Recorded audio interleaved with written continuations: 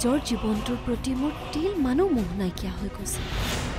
মই মাত্ৰ মোক ধ্বংস কৰিবলৈ খোজা মানুহবোৰক এবাৰ চাবলৈ আহিছোঁ। মই পোৱা কষ্টবোৰৰ সৈতে সকলোকে এবাৰ চিনাকি কৰাই দিব খুজিছোঁ। তোমাৰ আচলতে হৈছে কি? মোৰ কি হৈছে হা? আজি ইমান দিনে তুমি ৰুণজুনৰ লগত একেটা অফিচত একেলগে কাম কৰি আছা? অথচ মই গম নাপাওঁ। আজি ইমান দিনে তুমি মোক ইমান ডাঙৰ এটা ফাঁকি দি আহিলা? হা? তোমাক মই। এতিয়া নিজক সোধা মই কৰা তৰ্কবোৰৰ যুক্তি আছে নে নাই? মই ৰুণজুনৰ পৰা তোমাক আঁতৰাই আনি ভুল কৰিলো সঁচা কিন্তু তুমি তুমি এয়া কি শুদ্ধ কাম কৰিছা। আচলতে তুমি এজন চৰিত্ৰহীন পুৰুষ। কোন কোন এতিয়াতো সকলো নিজক লৈ ব্যস্ত। বেলেগৰ কাৰণে ক'ত সময় আছে? নহয় অ' কাবেৰী মই ইমান বেছিকৈ হোৱা বুলি ভবাই নাছিলোঁ। বেয়া নাপাবি শিল্পী ক'ত আছে? হ'ব এতিয়া লেৰেলা সাদৰ দেখুৱাব নালাগে।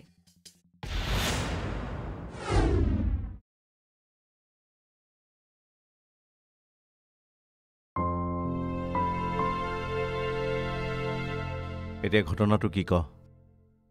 ঘটনাটো দেউতা একেবাৰে চিম্পল ৰুণজুনৰ দেউতাক গুৱাহাটীলৈ যাওঁতে এক্সিডেণ্ট হওঁতে পলাশৰ লগত চিনাকি। আৰু মানৱতাৰ খাতিৰত সিও তেওঁক সহায় কৰিছিল। আৰু সি হয়তো আগতে মোক চিনি পাইছিল নহ'লে অনুমান কৰিছিল। সেইকাৰণে নামটো মোৰ আগত ভুলকৈ ক'লে। আচ্ছা? হয়।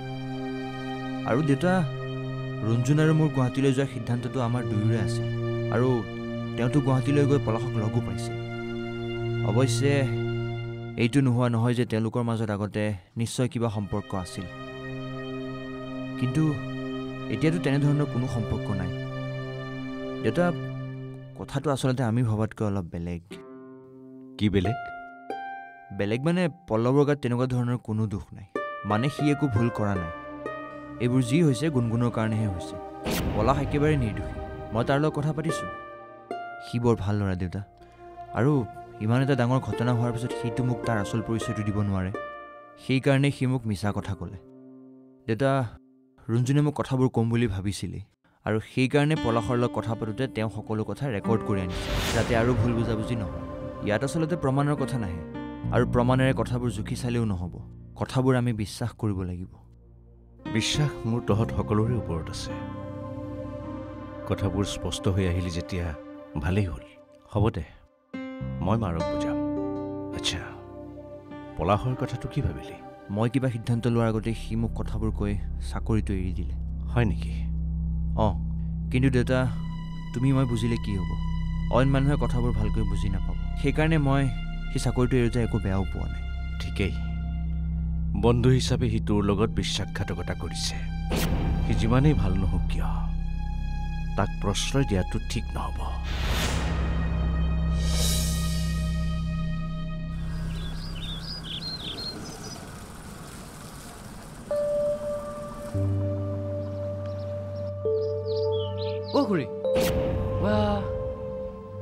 আপুনি মোক একেবাৰে দেখিও নেদেখা ভাও জুৰিছে যে? ক'লৈ যায়?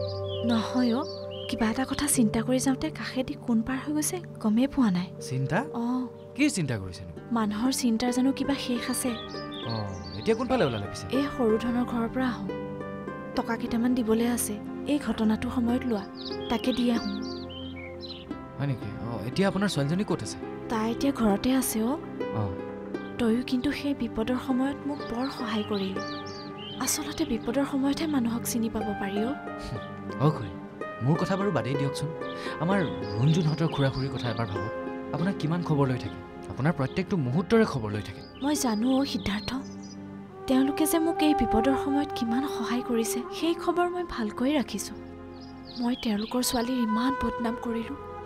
তথাপিও তেওঁলোকে মোক এই বিপদৰ সময়ত ইমানখিনি টকা দি সহায় কৰিছে। কিন্তু কি কৰিবি অ' মানুহবোৰৰ সন্মুখলৈ যাবলৈ দেখোন লাজেই লগা হ'ল। তথাপিও মই এপাক যাম বাৰু। আৰু ঘটনাবোৰ দেখোন পাহৰিব খুজিলেও মই এতিয়া পাহৰিবই নোৱাৰা হৈছোঁ। হ'ব খুৰীটো আপুনি এতিয়া সেই হৈ যোৱা পুৰণা কথাবিলাককে এতিয়া ভাবি নাথাকে আপুনি পাৰে যদি এবাৰ খুৰা খুৰীৰ ঘৰৰ পৰা আহকগৈ দেই। হ'ব দে মই এপাক যাম বাৰু। তই এতিয়া যা মই আহোঁ। অঁ যাওক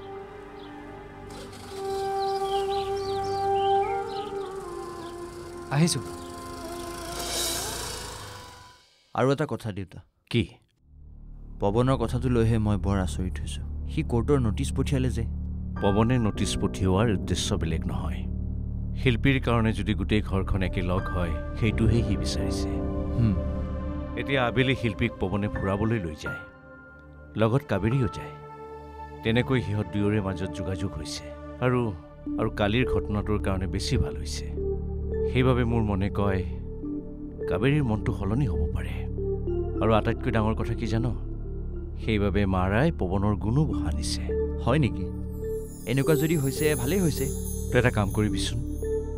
পৱনৰ পজিটিভ কথাবোৰ তাইক কবি। যেনেকৈ নহওক তাইৰ মনটো ঘূৰিলেই ৰক্ষা। হ'ব দিয়া দেউতা। মই তাইক বুজাবলৈ চেষ্টা কৰিম। কিন্তু মই আজিলৈকে তাইক বুজাবলৈ চেষ্টা কৰিয়ে আছোঁ। পৰা নাই। ভালকৈ মাত ভুলেই নকৰে নহয়। এটা কাম কৰিলে তাই মোক ভালকৈ মাতিবলৈ বাধ্য হ'ব।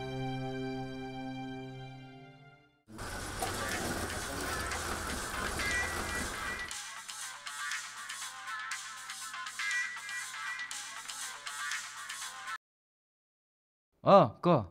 সিদ্ধাৰ্থ আজি বৰ ডাঙৰ ঘটনা এটা হ'ল। ডাঙৰ ঘটনা মানে? আজি অফিচলৈ গুণগুণ আহিছিল। মোক লগ পাবলৈ। তোক লগ পাবলৈ গুণ গুণ এইবোৰ তই কি কথা কৈছ? অঁ যাক বিচাৰি মই গুৱাহাটী আহিছিলোঁ তাৰে সন্মুখা সন্মুখী হ'লোঁ। তাৰপিছত? নক'বলগীয়া বহুত কথাই ক'লোঁ তাইক।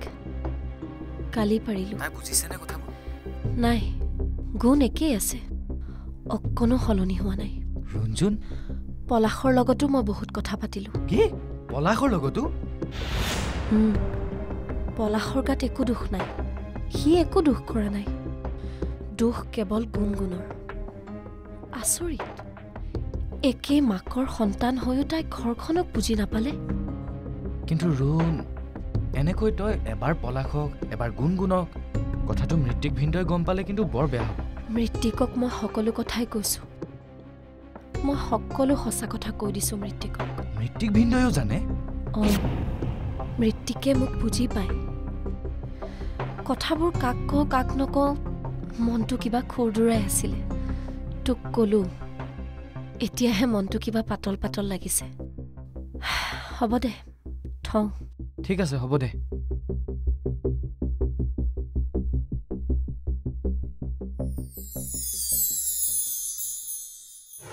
আচলতে আজিৰ যুগত পৱনৰ নিচিনা ল'ৰা পাবলৈ ভাগ্য লাগে। আজি মোকেই চা ব্যস্ততাৰ মাজত মই ৰুণজুনৰ খবৰ ল'বলৈ সময় নাপাওঁ। কিন্তু পৱনে প্ৰত্যেক মুহূৰ্ততেই তহঁতৰ খবৰ লয়। মোৰ পিছে খং উঠে। দাদা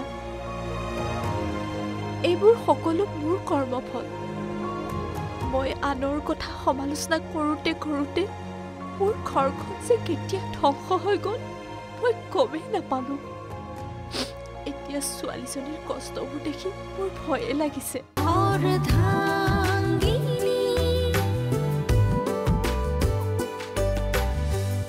আছোঁ আছোঁ মই ঘৰতে আছোঁ। তুমি আহিছিলা বোলে? অঁ মোক কাবিৰে কৈছে। আৰু তুমি শিল্পীৰ চিন্তা কৰিব নালাগে। শিল্পীৰ কেয়াৰ ল'বলৈ আমি আছোৱেই নহয়।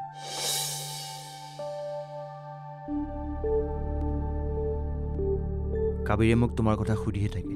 তাই এনিটাইম এইবোৰ কথাই সোধে। আচ্ছা তুমি আহিবাতো? ঠিক আছে বাৰু মই তাইক একো নকওঁ। ঠিক আছে বাৰু। কোনে ফোন কৰিছিলে? মোৰ লগৰ এজনে ফোন কৰিছিল। মিছা নকবি। পৱনে ফোন কৰা নাই? পৱনে? তোক কিয় লাগে? কচোন। আহ, পৱনে ফোন কৰিছে কি সুধিছে মোৰ কথা? মোৰ কথা কিবা পাতি থকা শুনিছিলোঁ। সেইটোনো কি ডাঙৰ কথা হ'ল? মইতো তাৰ লগত কথা পাতিয়ে থাকোঁ। পৱনৰ লগত কথা পাত। তই কি ভাবিছ? তই তাৰ লগত কথা নাপাতিলি বুলি মই কি নাপাতিম? নাই ভবা তেনেকৈ।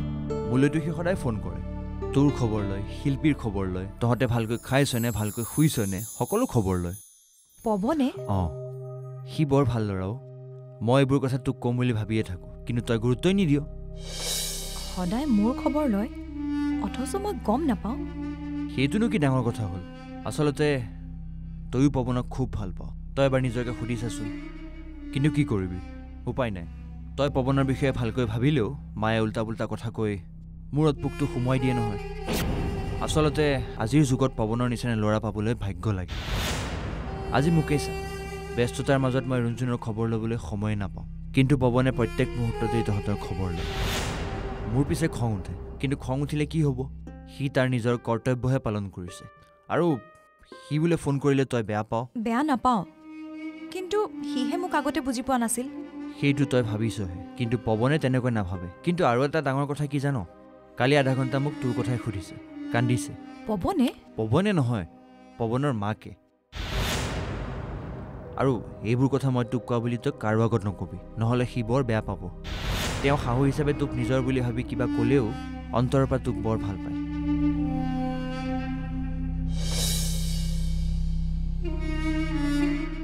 পৱনে মোৰ কথা সুধি সদায় দাদালৈ ফোন কৰে? আনকি মাকেও ফোন কৰে? কি আচৰিত। মোক মানে তেওঁলোকে ভাল পায়।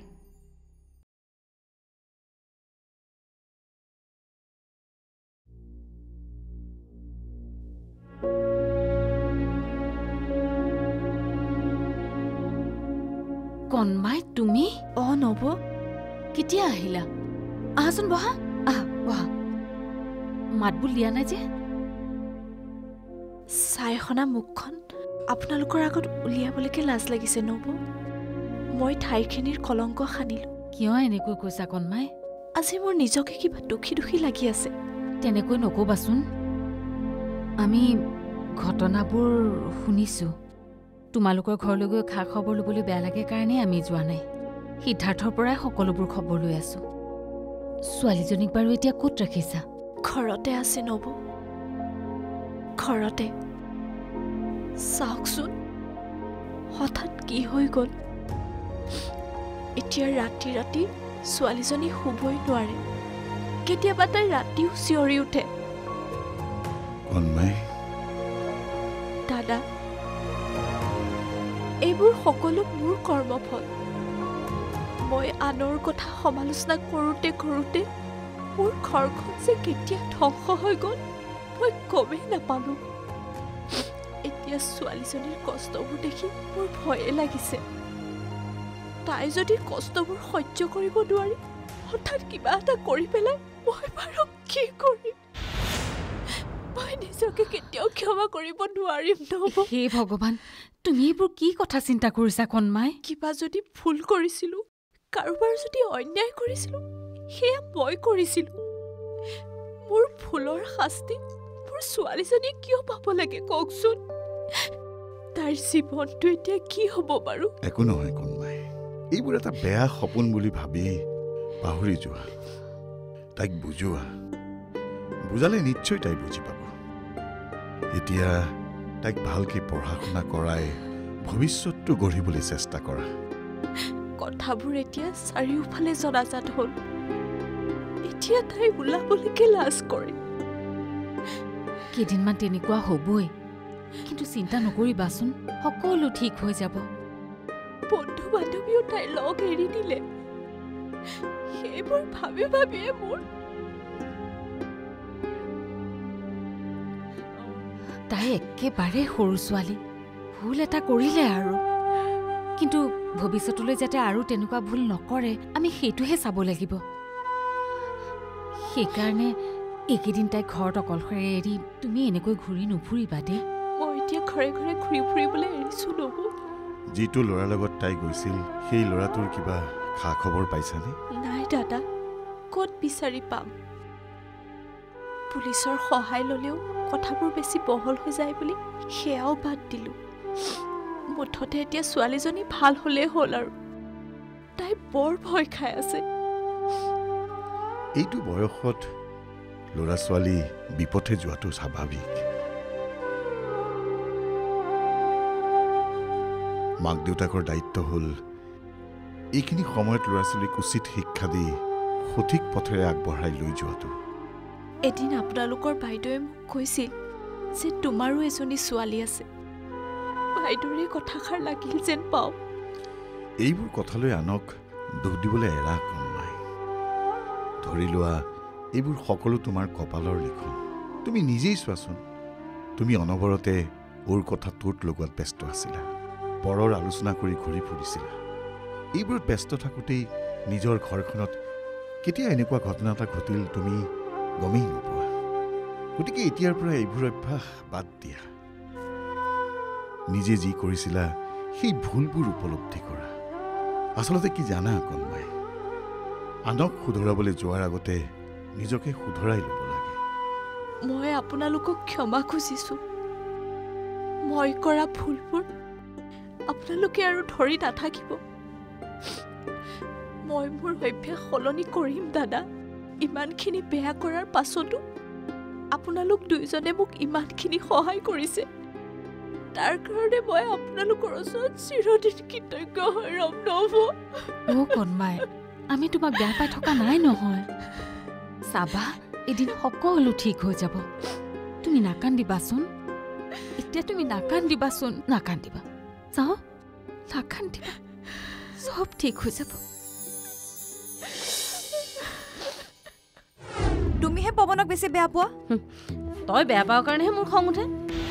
মই বেয়া পালোৱে যেনিবা। খং উঠিলেই। কিন্তু তুমি কিয় বেয়া পাইছা সেইটো কোৱা? তোৰ কিবা কথাত খং উঠিলে? কিবা কথাত বেয়া পালে? মোৰতো দুখ লাগিবই। কাৰণ তই মোৰ ছোৱালী।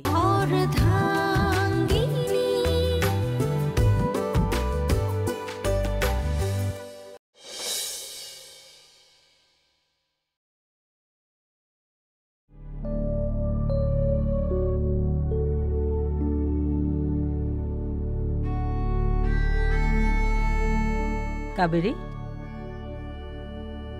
মা? কি হ'ল? মা আমি বাৰু পৱন আৰু তাৰ ঘৰখনক ভুলকৈ বুজি আছিলোঁ নেকি? কিয়? নহয় মই দাদাৰ লগত কথা পাতিলোঁ। দাদাৰ লগত কথা পাতি পৱনৰ কথা বহুখিনিয়ে গম পালোঁ। পৱনে প্ৰতিদিনে মোৰ আৰু শিল্পীৰ খবৰ ল'বলৈ দাদালৈ ফোন কৰে। কি? পৱনে মৃত্তিকলে ফোন কৰে। অঁ ফোন কৰা মই নিজে শুনিছোঁ। আনকি পৱনৰ মাকেও আমাৰ খবৰ ল'বলৈ দাদালৈ ফোন কৰে। আমি বাৰু পৱনৰ ফেমিলিটোক বুজি পোৱা নাই নেকি? সেইটো আকৌ মোক কিয় সুধিছ? তইহে তেওঁলোকক বেছিকৈ পাইছ? কিয় নুসুধিম? তুমিহে পৱনক বেছি বেয়া পোৱা? তই বেয়া পাওঁ কাৰণেহে মোৰ খং উঠে। মই বেয়া পালোৱে যেনিবা খং উঠিলেই। কিন্তু তুমি কিয় বেয়া পাইছা সেইটো কোৱা? তোৰ কিবা কথাত খং উঠিলে? কিবা কথাত বেয়া পালে? মোৰতো দুখ লাগিবই। কাৰণ তই মোৰ ছোৱালী। কিন্তু মই পৱনৰ পত্নী। মোৰ কিবা কথাত তেওঁ মোক বেয়া পাবও পাৰে গালি দিবও পাৰে। সেইবুলি মই এনেকৈ গুচি অহাটো বৰ ভাল নহ'ল নেকি? তাতে মোৰো কিবা কথাত খং উঠিব পাৰে। সেইবুলি জ্বলি থকা জুইত ঘিউ দিয়া নিচিনাকৈ। তুমি পৱনৰ কথা পৱনৰ মাকৰ কথা বেয়াকৈ কোৱা। মোৰতো খং উঠিবই। তই মোক তেনেকৈ কৈছ যে কি ক'লো মই পৱনৰ কথা? কি কৈছা সেইটো নালাগে। কিন্তু তুমি অন্ততঃ পৱনক বেয়া পাব নালাগিছিল। সি বেয়া নহয়। মাকজনীহে তোৰ আজি হঠাৎ কি হ'ল? হঠাৎ সিহঁতৰ প্ৰতি দয়া উপজিল যে? দয়া নহয় সঁচা কথা কৈছোঁ। মাকজনীৰ কাৰণেহে মোৰ জীৱনটো এনেকুৱা হ'ল। জানো? তহঁতৰ এইবোৰ কথা বুজি পোৱাই টান। ইমান দিন এনেকৈয়ে গ'ল। এতিয়া আকৌ তই ক'বলৈ আহিছ? মোৰ কাৰণেহে তোৰ এনেকুৱা হৈছে। এতিয়া সকলোবোৰ দোষ মোৰ ওপৰতে জাপি দে। ঘৰখনত মানে ময়ে অমংগলীয়া। যি হৈছে মোৰ কাৰণেই হৈছে।